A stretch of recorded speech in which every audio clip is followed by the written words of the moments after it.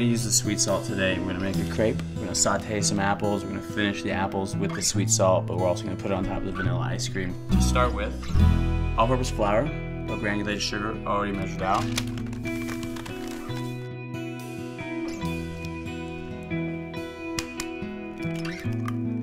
You wanna make sure it is super smooth. We're gonna set this to the side, get some apples chopped.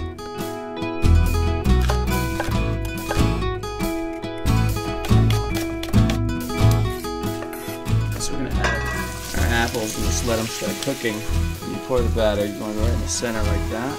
And you want to just jiggle it around like that.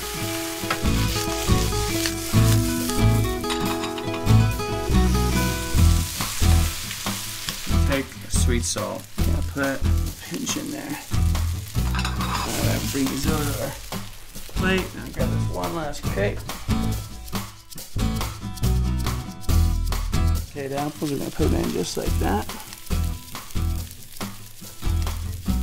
So to finish off this crepe, vanilla ice cream, a little sweet salt. How's that for a late night Montana Mex treat?